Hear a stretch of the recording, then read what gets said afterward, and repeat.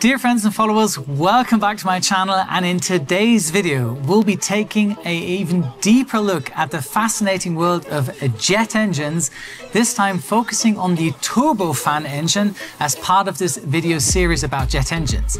I'll take you through how they work, showcasing it with this beautiful Pratt & Whitney JT9D7 engine, the physics behind them, and some cool engineering details that you might not learn in a typical flight school. so if you're curious about what keeps an airplane flying, this is the perfect video for you. So let's get started.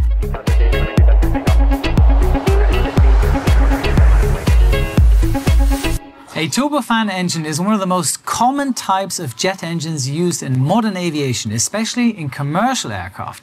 Its name combines turbojet, the type of engine I introduced you in my last video, with the word fan because of the addition of a large fan at the front of the engine.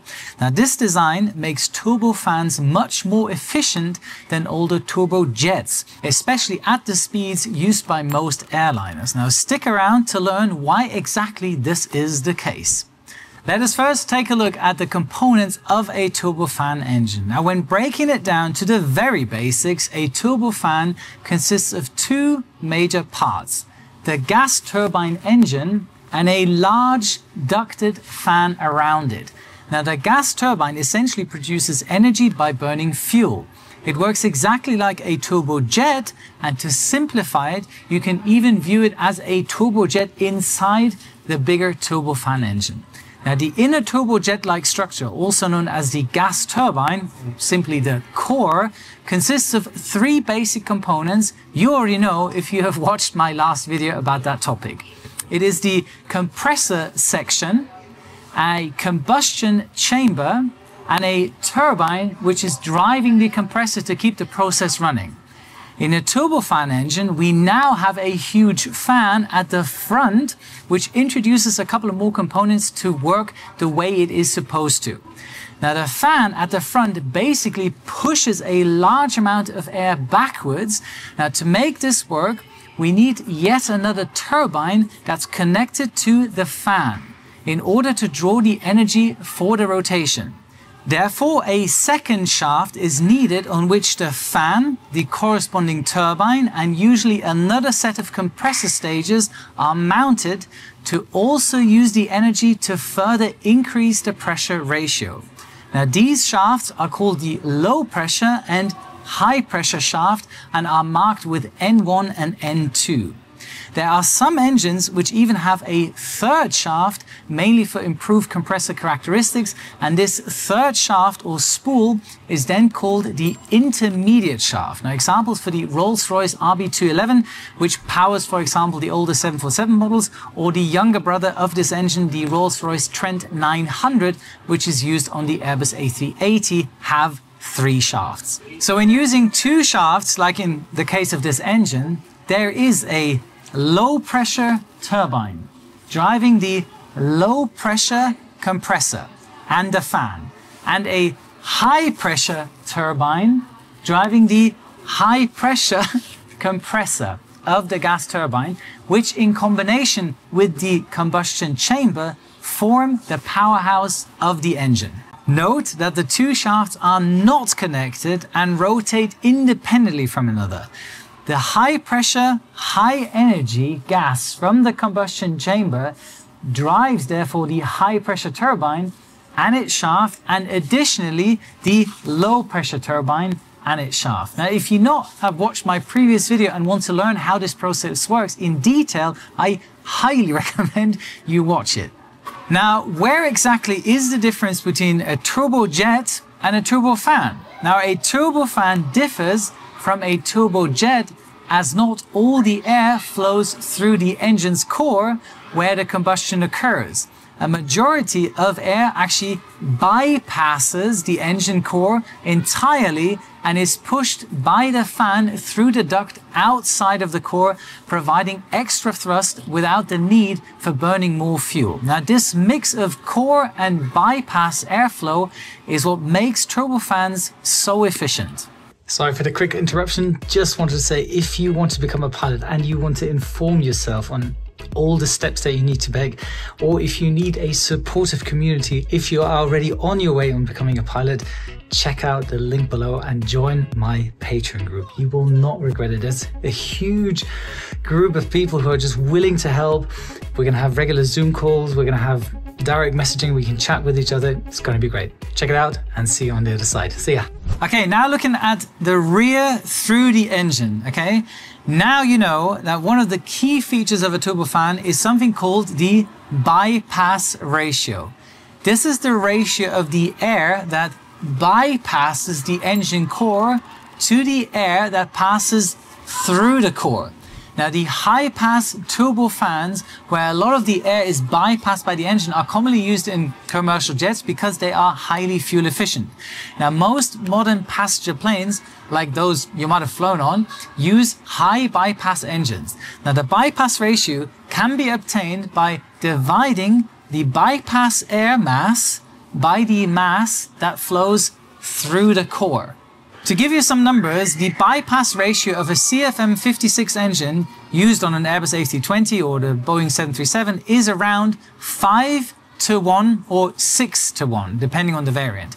Now, the Trent engine of the Airbus A380 has a ratio of just shy of 9 to 1.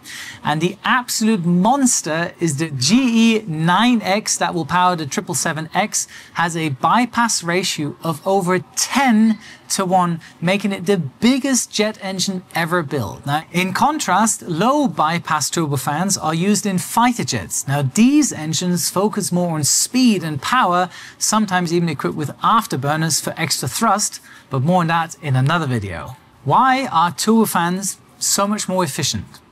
The key advantage of a turbofan engine is its fuel efficiency.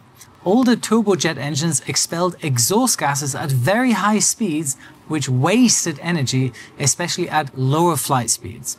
Now, turbofans address this by pushing larger volumes of air at slower speeds reducing wasted energy and making them much more efficient for subsonic and transonic flights, namely the speeds commercial airliners fly at nowadays.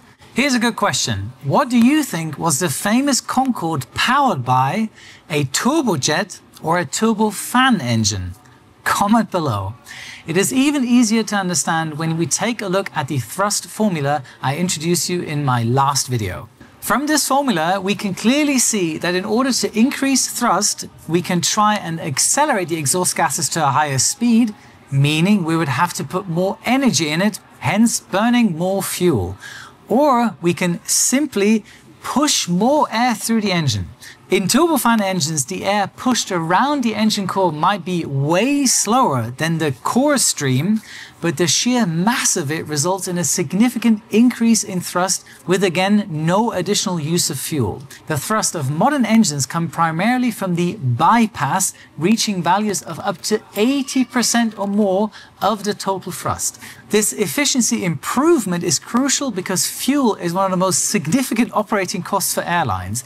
So by using more air to generate thrust and wasting less fuel on unnecessary exhaust, high bypass turbofans are able to power planes more efficiently over long distances.